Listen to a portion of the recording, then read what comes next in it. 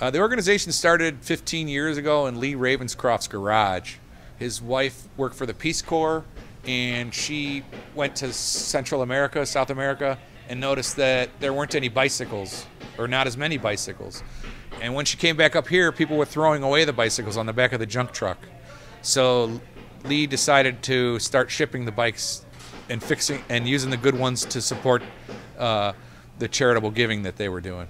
So the the the bikes that are better that get triaged out are the ones that you see around uh, the floor with the tags on them, and those are the ones that amazingly got discarded, and they're actually quality bikes. And uh, so, so those, those bikes go towards our charitable giving, and they'll build. They pay for salaries, they pay for the food tonight, they pay for the building, and they pay for uh, everything that we do. Get down.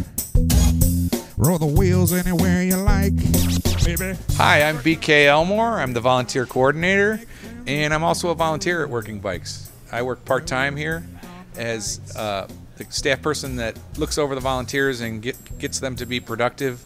We have about mm, 50 to 75 volunteers, and they do all of our work for local donation bikes that go out to people that are in need locally.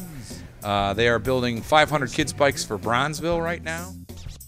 Several years ago, one of my uh, bike club members from the Oak Park Bike Club um, said, hey, it's Christmas time, let's do charity, let's go to Working Bikes, I've been there before, and um, do a packing party where we pack you know, close to 500 bikes into a shipping container and send it to a third world country. Um, and um, you know, it takes the day and it's a, it's a lot of fun. So then I came and volunteered a couple more times, volunteering really because I was also in school and working full time. And then um, when I was done with school, I just started coming here on Tuesday nights. And I just, I like it because it's really eclectic group of people and most people are extremely nice and you get to bring your bike and work on it at the end if you want to repair your own bike. So there's, it's two-way street. You learn how to fix and repair bikes, and you can use it on your own bike, and it's a lot of fun.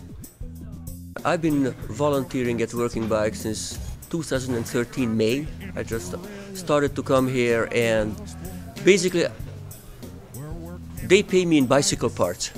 so I, I have no income, and I enjoy uh, fixing up bicycles for myself, and um, I get around on bicycles.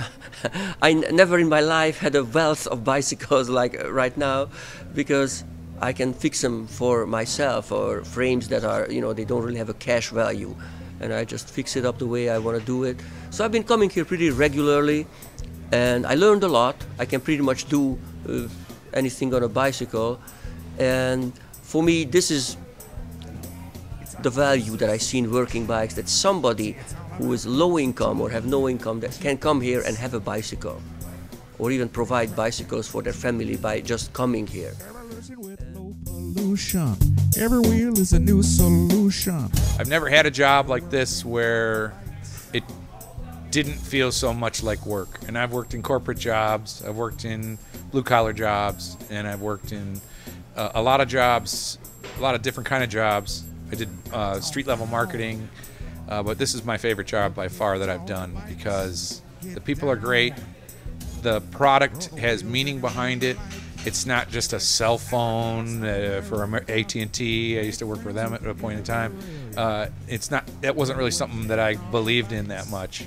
This is a product that I could believe in, and this is a product that I'm proud of because uh, Working Bikes has a value system behind it, behind everything that they sell. Uh, you know, we sell a bike, and that money goes towards paying for a shipping container that's going to go overseas and make a small village uh, more mobile, and that's something to be uh, something to be proud of. I think.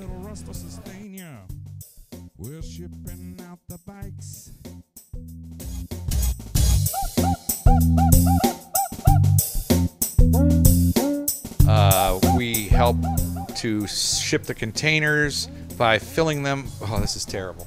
Oh. Cut! Cut!